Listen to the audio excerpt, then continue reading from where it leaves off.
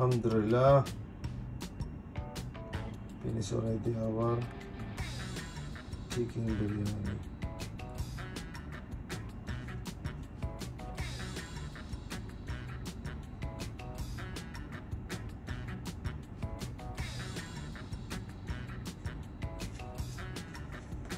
Alhamdulillah, Alhamdulillah. Hello po, good evening. Ngayon po, gagawa tayo ng chicken biryani. Ito na po yung ating mga ingredients.